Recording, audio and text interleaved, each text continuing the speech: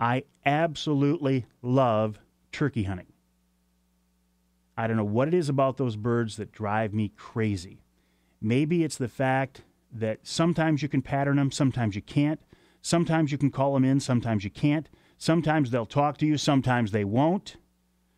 Turkey hunting can be extremely easy and fast, or it can be very frustrating and take a long time.